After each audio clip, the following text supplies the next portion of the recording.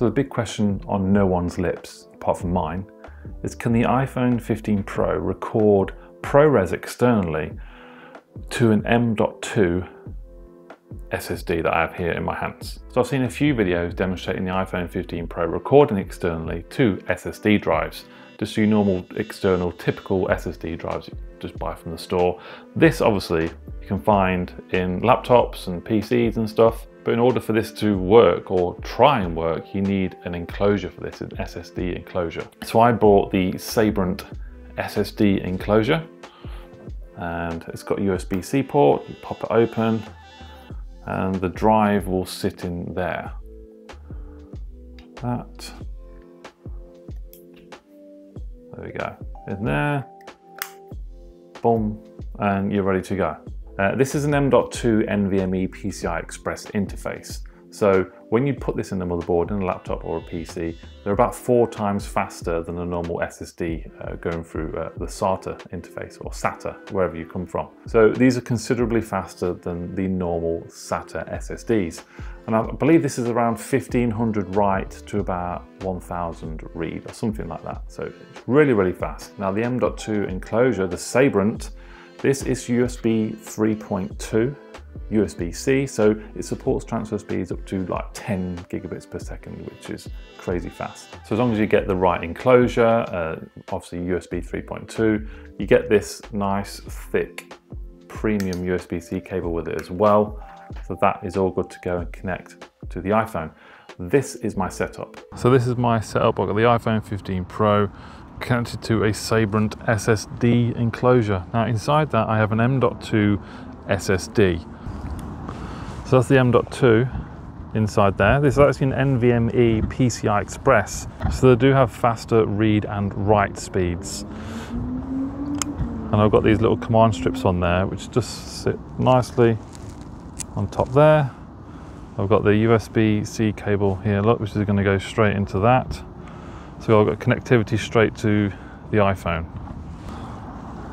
And we can see we're in ProRes mode at the moment, only at HD 30, but we can change it to 4K 60. ProRes 4K 60, and we can hit record, and there we go, look.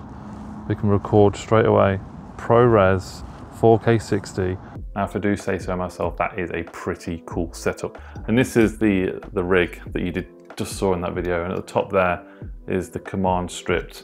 And they're really, really handy. It's like Velcro. There you go. Sorted.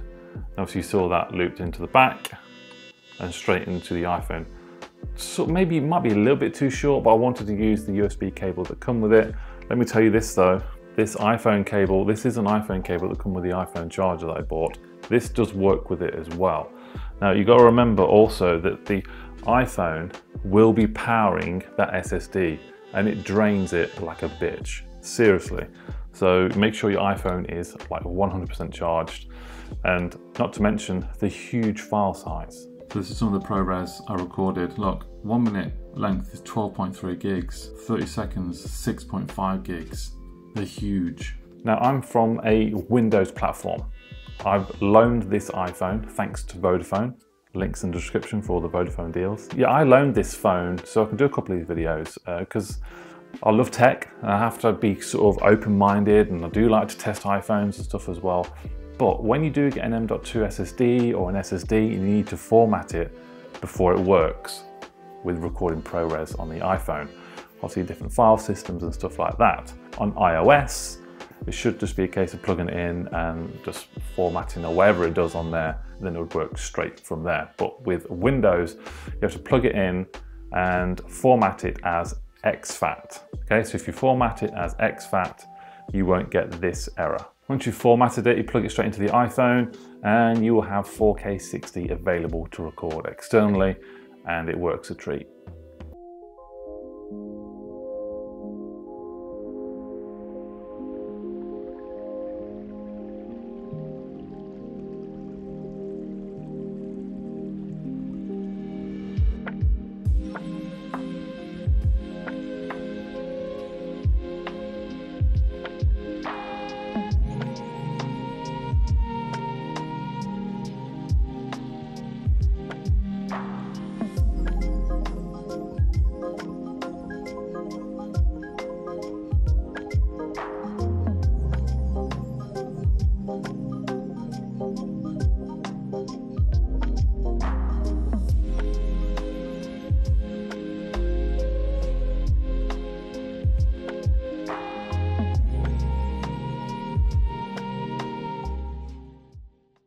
Now obviously what you've got to remember if you are working on the Windows machine, originally I did export it at 4K 60 H.264 I think it was, uh, but you do have the options in Premiere Pro to export in ProRes as well.